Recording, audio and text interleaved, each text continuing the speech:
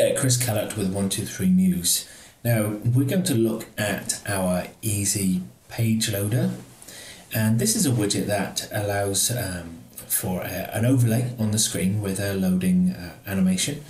Um, and you can put a graphic in there if you wish as well. And the, the, preloader will sit there indicating that the page is loading until all the content's lo loaded sorry, and then we'll fade out. So let's take a look at how we can do that. So this is a really simple page. It's just got a graphic and a background image. We're going to go to our library here. And if we type in here, this is easy, so there we go, easy page loader.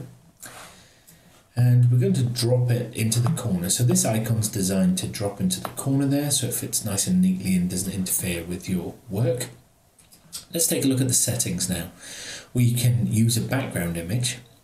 Uh, we can add the loading animation and we can set the animation pause time, so how long it pauses once everything's loaded until it fades out. Uh, the loader image size, the loader background color, so the actual, the full coverage of the background that covers the page until it's loaded. We can pause, set the pause time on that as well load up the background image, and then we have these other settings to change it whether it's repeating, um, change its background size, its positioning, and how far it is from left and top. And it uses um, percentages rather than just pixels, so that this is also going to be suitable uh, as a responsive widget when the next version of Muse comes out. So let's go ahead and make some choice settings here. So first of all, I'm going to choose a color. So I've got this color already pre-done in there. We're going to switch background image on and we're going to load up uh, uh, animation. Now we've included 20 SVG anim animated SVGs to go along with this widget to get you started, but you could use a GIF, a PNG, whatever you want. Um, we've just given you some to get you started, and there is a link on the details page to um, a site where you can generate some really cool animations for preloaders. So we're going to load up number 15. That's the one we've chosen for this.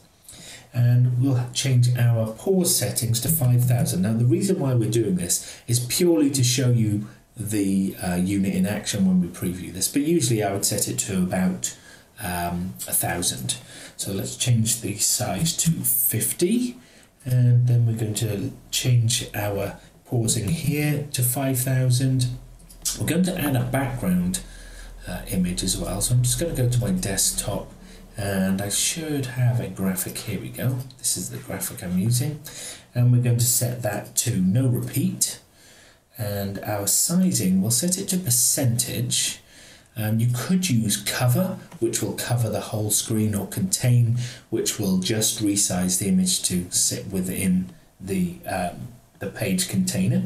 So we'll set it to percentage, and we're going to set it on this one to 8. And then the actual placement, we're going to use percentage left and top as well. And we're going to leave that at 50 and change this 38%. Now that's all done. And if we hit preview, so we get our graphic, our logo here positioned, our background color, color, our animation, and as you can see, it then fades out. We also have this available for, and it works nicely with tablet, so let's take a look at that in tablet view.